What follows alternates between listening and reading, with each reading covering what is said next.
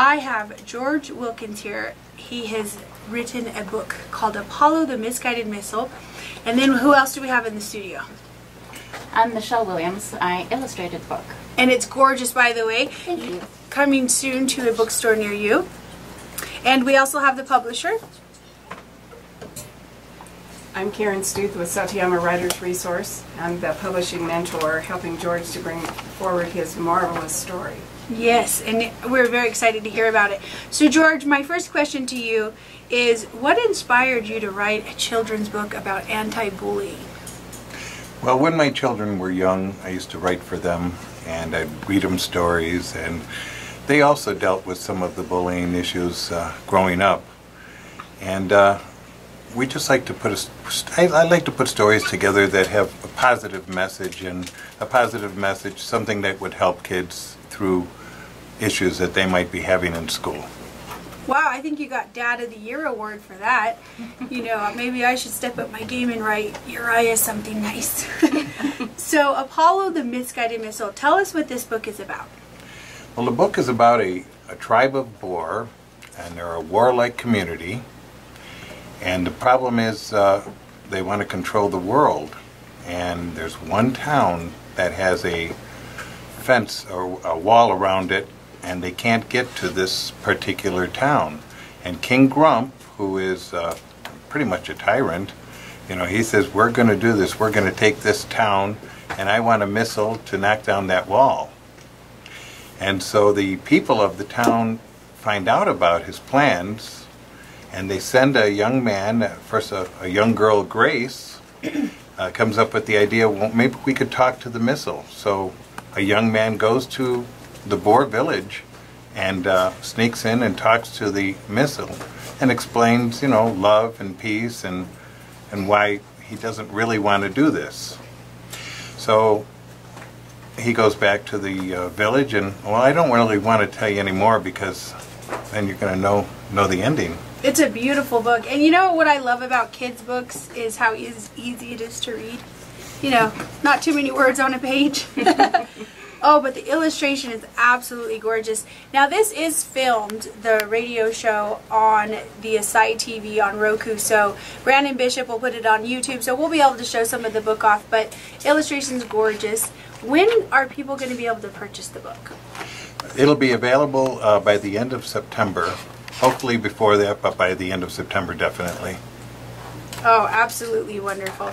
And uh, PR, let's let's give the uh, well, I wanted to also mention that uh, right now, if they go to gwilkins.com, uh, they can pre-order uh, their their own book. So very nice. Pre-order is highly recommended. It is highly recommended because we're expecting them to go very quickly. That's right. So I wanted to have you kind of explain more about the book in detail, about it being for the anti-bullying. Yes, you. um, we've got mics in front of people, they just don't like to talk. well, I'd love to talk about the book because I think the message of it is absolutely amazing. Um, it is a book that is about ways to deal with bullies. And King Grump of the uh, village of Boar is the consummate bully. When he decides that the village of Bliss should be his, acting as a bully, he builds a missile and plans to knock down the wall and take the village and the villagers uh, coming together um, are brainstorming through the night, what can we do about this? And one little girl, one little lone voice says, what if we talk to the missile? Ooh. And after everyone finishes laughing hysterically at her, they decide maybe this is not a bad idea. And that there begins um, the first tool giving, given to children in the book about ways to deal with bullies, you know, to try to talk to them, to try to understand their perspective, to try to find some commonality or common ground. And that's exactly what occurs in the book, that um, an older um, young man from the village embarks on essentially an epic journey. He's on an epic journey and he walks over mountains and through dark forests and through scary places to go and meet with the missile and talk to Apollo and explain the viewpoint of the Village of Bliss. And uh, it, it is Well, I don't want to spoil the end like George says. So, Oh, we're so trying. won't. I know. I, I'm gonna try my, uh, Michelle next, right? Yes. Yeah, I'll get to one of you. I'm like a Spanish inquisitor here. and the illustration is absolutely gorgeous. What inspired you? Like, obviously, George wrote the book, and you made the beautiful pictures, which they both sell together. So tell us about what inspired you. As I was reading the book, all this, the pictures just came to mind, and I just put it down on paper. And when George and I got together, he said that's exactly what he had in mind. So I think we had a great teamwork where he had the story, I had the, when I read it, I saw what he saw, and we put it down on paper, and it was his thoughts on paper. So he said uh, I did capture it correctly. It was fun to do something, and especially when it's got a good message. It's nice to be able to be a part of that, and even if it affects just one person out there for reading it, it has a good message, and it'll help someone to give them the tools to know how to deal with bullies. And it doesn't always have to be aggressive, and it doesn't always have to be um, fighting back. You can try and sort things out with peace and love, and I think that's what really the story um, re- reveals that very well. It really does. And I can't even draw a stick figure, so I'm glad, George, you didn't hire me because this is beautiful. well, thank you. Absolutely wonderful.